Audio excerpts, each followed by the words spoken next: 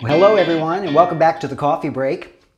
I've got a very busy week going this week because I have carpeting being laid down upstairs and I have to do all the work to move everything out of one room into another so they can lay the carpet and then move it all back so they can move to the next room and so on.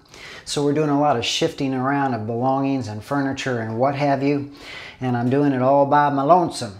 So it's a lot of work, and I've been preparing for that for a couple of days because we have some very large pieces of furniture, and I've been trying to move these things all by myself with just a hand truck and a furniture dolly and yours truly.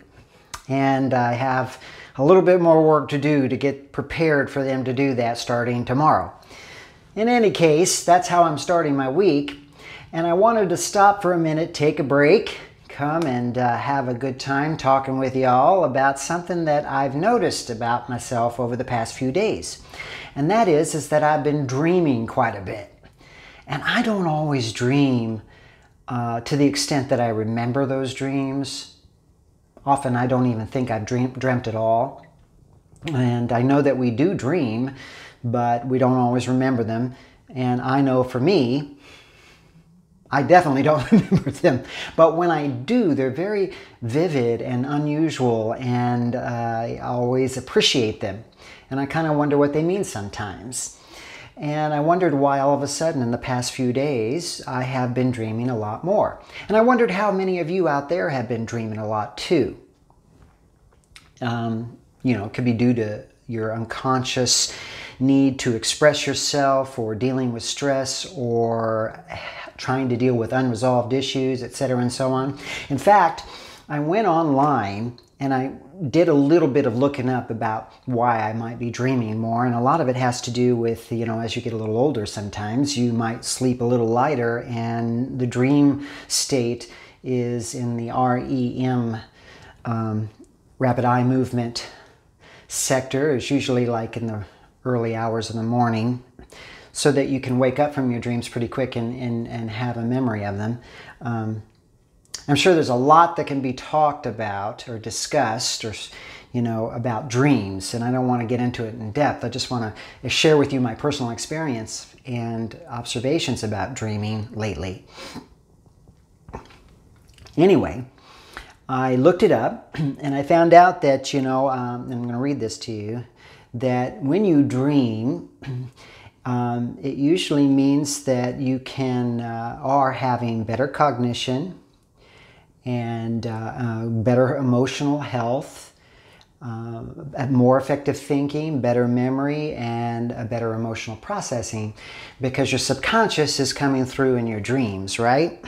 And uh, one of those things that I mentioned already is that you might have unresolved issues and they're trying to subconsciously express themselves through your dreams. And I find that kind of interesting because I think there is a little truth to that. And we've certainly heard a lot about uh, dream therapy and um, how dreams can be interpreted and can mean things to people and in people's lives. In fact, quite frankly, they can impact our lives quite a bit if we pay attention to them because that is our subconscious trying to come through and tell us a little something. Not always, sometimes it's just pure entertainment, right?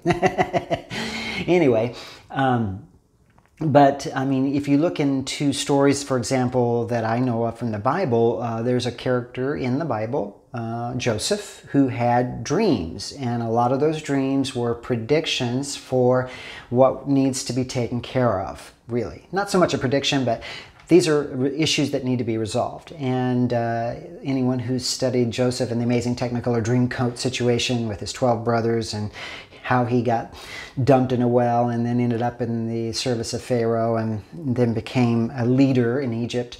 You know, all that started with a few dreams. And uh, in fact, I did the show a couple of times, Joseph and the Amazing Technicolor Dreamcoat, years and years ago. And that was a lot of fun. And we get to sort of explore the dream um, impact throughout the show several times a week. And I enjoyed that a lot. but I'm babbling a little bit. I want to talk about dreams today a little bit. And what's been happening with me is that I've noticed that I've been dreaming. And on Friday night, for example, um, just to show you how, you know, we can try to remember them, try to write them down uh, a little bit. Maybe they have some significance to us that might lead us to resolving an issue or just being prepared for the idea that you're going to meet up with something or someone that you might not have expected otherwise. And I was dreaming that I was somehow invited back to this church that I used to work at, and there were people on the staff that were in the dream that I remember. And I remember looking at one of them and thinking, oh gosh, I hope that they're okay. They don't look so good. And the other one was uh, the pastor and, and I recall making eye contact with him in the dream. And he looked at me and I looked at him and I kept, throughout the dream I'm thinking, why am I here right now? Why are you asking me to be here? Because I don't work there anymore. and uh, I chose to uh, step away from that environment for all kinds of other reasons we won't get into here. but um, the point is, is that I was having this dream about something that happened uh, in my past, or not specifically something that happened, but that involved people from my past. And I thought, oh, that's interesting. Why was I dreaming about them? And do you know the next day I went shopping at a grocery store and all of a sudden around the corner someone pops around and says hello to me and calls me by name and I look and I recognize the voice, and it was the pastor. And I just said, hello, it's good to see you. And, you know, that kindness was returned. And I thought, how interesting is that? I just had a dream about making eye contact with this gentleman. And he very clearly was in my dream looking at me, and all of a sudden, the next day, there he is standing in front of me. Have you ever had something like that happen to you? You have a dream, or you have some kind of a little uh, twinge of premonition, so to speak, where all of a sudden you're thinking about someone, and then the phone rings, and that's them. you think about people sometimes, and it's because there's a need to be thinking about them um, or you're going to run into them. And, uh, it, and it doesn't have to mean anything great, you know, nothing specific. It's just that you, it's like you're aware that suddenly you're going to be uh, thinking about someone and there they are. So I thought that was interesting. And then I realized the next night after that, I was dreaming again. And I was remembering little aspects of the dream. Now, the one I had last night that I thought was kind of interesting was I remember sitting there and someone was asking me something or more or less telling me what I needed to do about something, and I just politely and kindly and calmly said no. And all of a sudden, that person overreacted and blew up and got really angry and in my face, down into my ear, and uh, to a point that it was like they were telling me that I was going to have to do that, and if I didn't do that, these consequences would happen, and blah, blah, blah, blah, blah, blah. And I thought, wow, this person just exploded in my face because I said no to doing something. And I think that's interesting because if you're talking about unresolved issues, and I know that I've mentioned this in previous videos where I've had to say no a few times in the past couple of years and walk away from situations. And people don't like it when you tell them no and then you walk away from them. But you have to resolve those issues. Walk away and don't look back sometimes because that's you know that's something that's coming from inside of you. You're making that decision of what's valuable to you in this moment. And if you support or encourage or condone uh, whatever the uh, event or circumstances are and you have to make that decision for yourself. And when you say no to people and you're in situations like a job or a relationship something like that and they and you tell them no there's going to be some kind of impact there and there's a consequence. And that's what was happening in my dream. But I remained calm.